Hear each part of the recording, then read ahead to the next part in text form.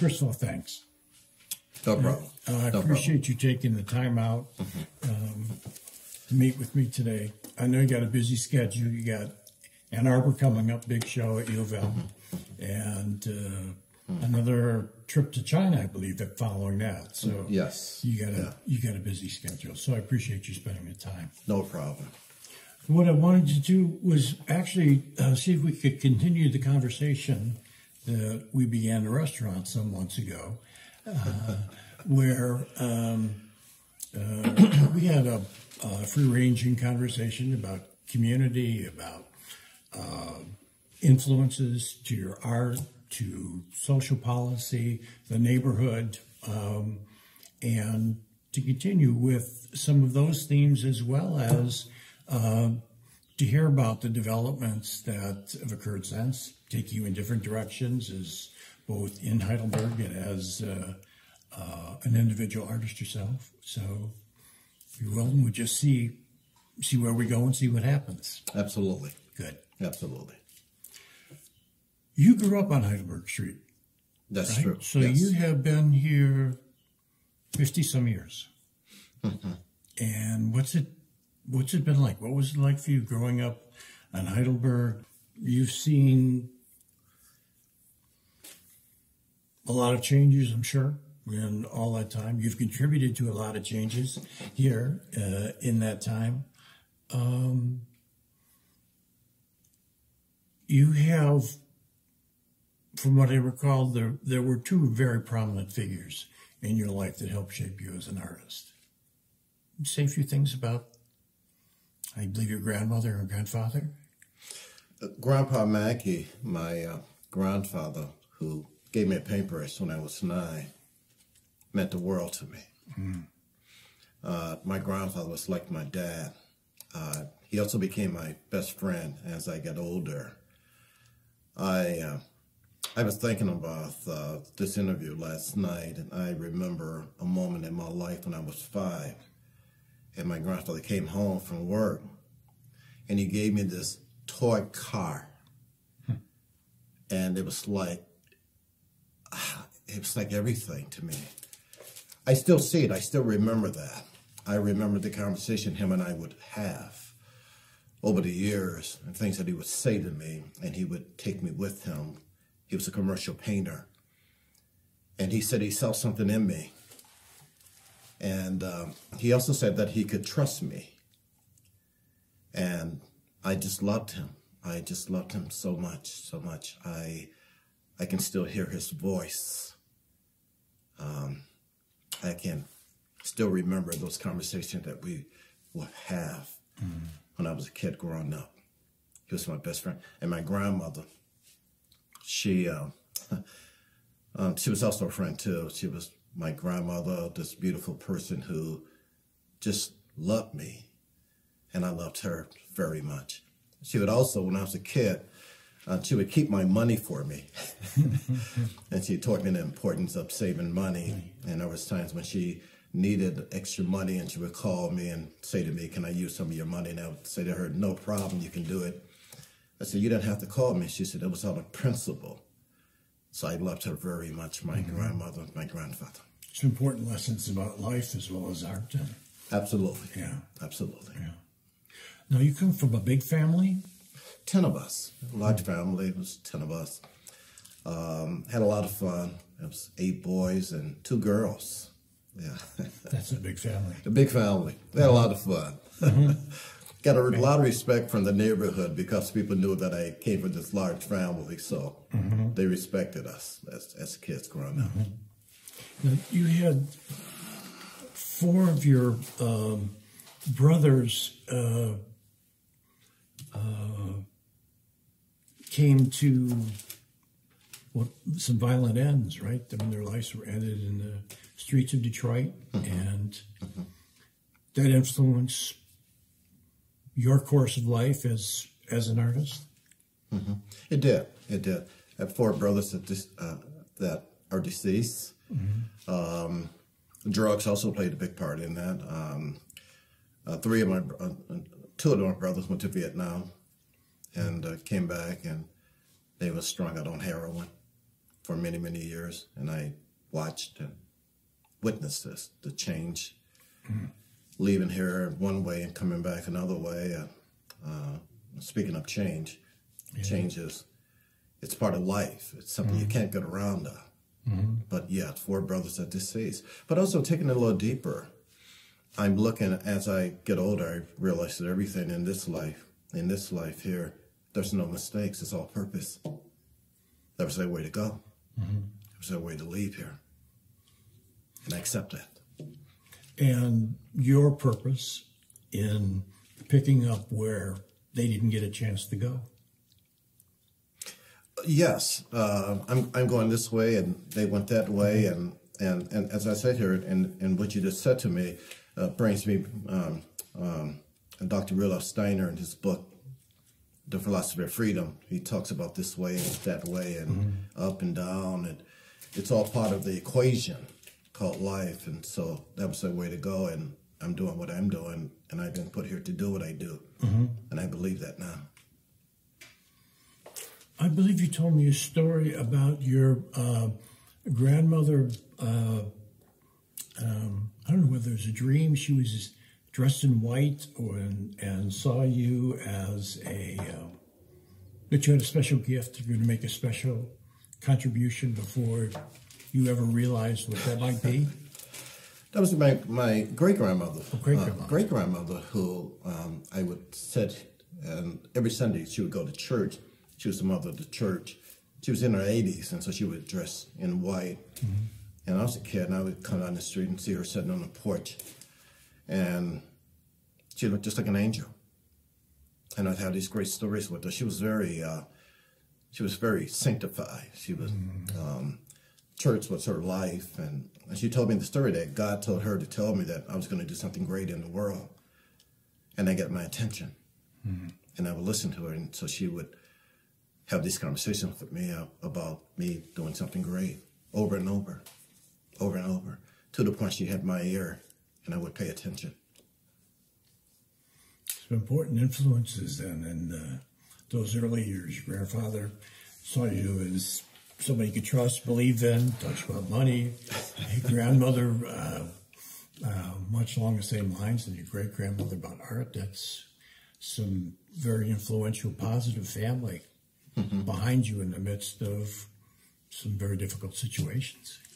Well, I think you need both. You need the difficult times, and you also need good times, and you have to mm-hmm. find a balance. And so you need both. Mm-hmm. I can't see a world where you didn't have both entities. Mm-hmm. And so um, today, I understand what it means to to to become balanced in your life, in your way of thinking, and understanding, at least for myself, understanding now that uh, you need both, both both entities, good and bad. Mm-hmm. And that may bring us to the uh, uh, description which often have heard you use describing uh, the work at Heidelberg that art is medicine, and art is powerful medicine, and that precedes even uh, urban renewal or uh, the refurbishing of buildings, but that art as medicine is essential. So, what is art as medicine for you? Well, I would have to say for me, it's the Heidelberg Project. It's something that I, I started 29 years ago. I don't believe you can heal the world first without healing the people first. I think the people come first. You heal the minds of the people, then you can heal the world. You can heal the city. I live by that now. You get people to start thinking in a new way, and you get them to start understanding who they are and what they are. But it takes transforming the mind, the paradigm, the psyche, into believing that you are somebody. And I and I I see it. It's been working. Mm-hmm. It's been working with myself and people that comes there to visit the project from all over the world. You need a medicine and you need something great or something that's going to penetrate this mm-hmm. and this. And so I see art as a medicine. I see the whole creation as a work of art, transforming and changing. It's the true medicine. Uh, In what ways has it changed you? You've been the creator, um, and yet it's been working on you as well as uh, as you've extended it to others. I've been very fortunate. I've been on both sides of the of the of the fence, if I may. Well, that was the time I didn't know. That was the time I was confused. That was the time I hated myself. That was the time I didn't like me. Mm-hmm. And so I've been over there, and now and then being over here took me to to go over here and then to find a balance. So I've been very fortunate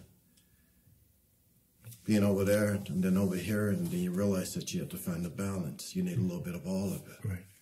So it changed me. It opened my eyes. I began to understand the importance of loving myself. I began to understand the importance of change, and I welcome change. I think that we live in a world where a lot of people are stuck. I've been stuck.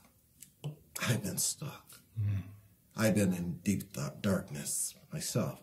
And that's why I can relate to other people that might be in darkness, might be stuck, because I've been there. The trauma, the, the not knowing, the being so lost that you don't know which end is up. Oh, yeah. where you run, at least I did, when you run and chasing an illusion of what you think reality is, you are killing yourself and don't even know it. I, so I've been out there. Uh, there was a time I uh, I would drop uh, uh, speed and mushrooms and did it. Yeah, did all of it, trying to find myself, and thought that that could help me to find myself. That could help me to create a reality. Mm-hmm. So a long journey of soul searching, and finally found it through your art. Through my art and. Um, Yes, I would have to say, yeah, the art saved me. Mm-hmm. Uh, it was something that I, I've been doing all of my life. I started when I was nine. Grandpa Mackey gave me mm-hmm. a paintbrush. That was my anchor. That was my medicine. Mm-hmm. Even as a, a kid, it was my medicine. Is there something special about the motifs that you use that helps deliver that message? In the circles or dots, the clocks, the faces, uh, numbers. You can see some of the your work here. Um, there's a special uh, meaning in that for you that you keep working with those uh, uh particular designs, motifs. The faces of God, for instance. Okay. As a kid, trying to understand this entity God, the creator of the universe, trying to make sense of out of that.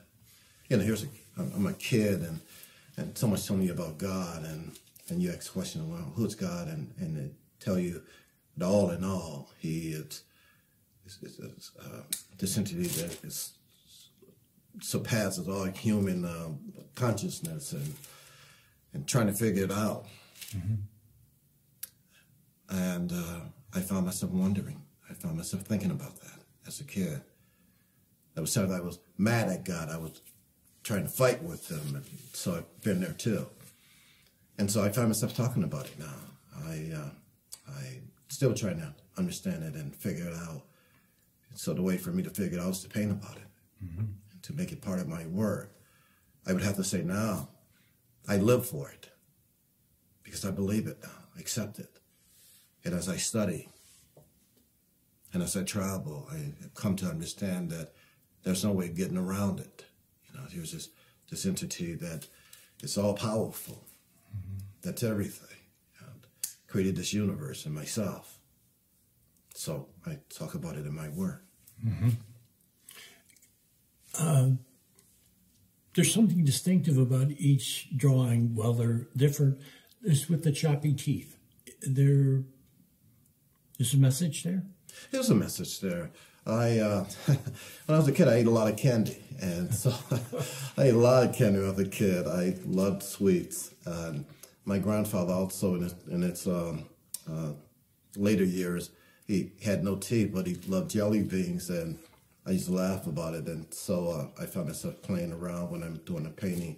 I'm playing with the teeth, and and I said to myself when I was a kid, I said I'm going to have great teeth when I grow up, and so it's part of my uh, it's part of my message. Okay. Teeth, and then having some fun with it, kind of playing with it, having fun with it. Mm-hmm. Where in this case, I'm doing a series called Faces of God, and here I am giving God a lot of teeth, and mm-hmm. in some cases, big teeth, and and uh, yeah, just playing with it, having fun, playing and a around. lot of different colors too. Absolutely, shows up in a lot of different colors. Yeah, yeah. yeah. Well, see, here's God, and so God can have very colorful teeth. You know, yeah. He can have all kind of teeth. So, mm-hmm. just having some fun with it, creating a, a, reality, a reality of what I see in my psyche, mm-hmm. the teeth of God, and the circles. Circle of life. Round and around we go, over and over. Everything is connected to spirit law. That's something else I, I, I read when I was in Switzerland. Uh, Dr. Rudolf Steiner and his book, The Philosophy of Freedom, where he talks about everything, everything, everything in the universe, outside the universe, is connected. I see it. It's all connected to spirit law, which is invisible, but connected. But Can't connected. see it, but believe in it, mm-hmm. and it's there. It's there. Like a lifeline. Absolutely. Mm-hmm. Absolutely. Mm-hmm. And the clocks. What time is it? Yeah. Plato said, uh, time is the moving image of reality. What's your reality? What is reality, really? You know, living in a world that changes constant. And every moment, every second, things are changing, evolving. So, what is reality then? Are you saying that reality, reality keeps changing? Yes, mm-hmm. it does. Nothing stands still, everything is moving, traveling. So, your, your art is a reflection of change as well as a motivator for change, of engaging the viewer with the art to think. Mm-hmm. And it needs to be powerful and arresting in some way, different mm-hmm. to break through, mm-hmm. I assume. Well, also being me. Uh, coming to the realization of understanding the importance of being self. So in being self, it makes me be me. And so it sets me apart from other people because I know me and then it's imperative that other people find themselves. But yet and still, going back to the circle, we're all connected through spirit law. Mm-hmm. All connected, but different, but connected. Why do you think that, that art as medicine um, has been so well received by outsiders and often greeted with such controversy by insiders or the neighborhood as opposed to larger community. What do you think that's all about? I think it's what it is. I think that um, uh, it's an old uh, cliche. I've heard this, where a prophet is not, uh, you know, he's not accepted at home. You know, mm-hmm. you go someplace else and they roll out the red carpet. But the challenge is to get is to bring it home and to teach and to educate people. Mm-hmm. That's the challenge. That's the real challenge because you can go someplace else and people accept you for what you are, but at home, you pay a price. And the price is to teach and to help people to understand. See, my job is to get people to see. Mm-hmm. Most people don't want to see. They are afraid of reality. They are afraid of self. I've been there. To know that everything you're looking for is in here. It's in you. It's you. But you have to know that. And most people don't know that. So you come home, you do it here, and people say he's crazy, he's this, he's that. That's part of the price that you pay. Nothing is out of order. Everything is in divine order. And then people start to come around slowly but surely. They start to come around. You can't give up. or get discouraged, even though I had those moments where I said, oh, I'm tired of this. But you can't give up. 28 years you've been not giving up, been developing. And uh, It takes a lifetime in some cases to get it right. yeah, yeah. As you've gone along, you've gotten stronger. Yes. And as you've gone along, do you think the community's hearing you? Do you think they're getting the education? Absolutely. Absolutely.